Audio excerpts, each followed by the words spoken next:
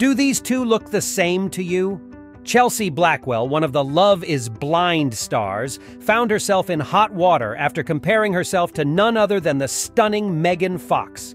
I told you you look like a celebrity. It's uh, MG.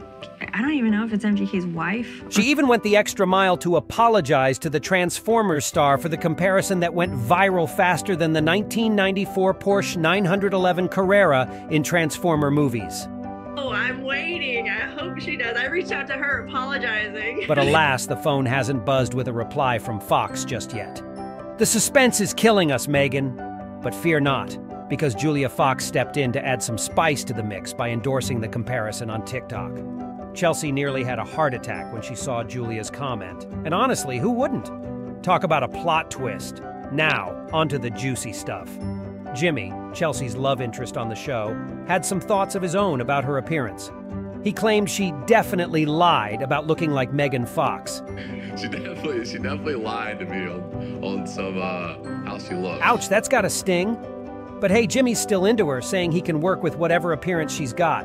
But at, you know, at the end of the day, it doesn't really matter. I, I'm very attracted to her. I, I can work with that. Now that's what you call commitment.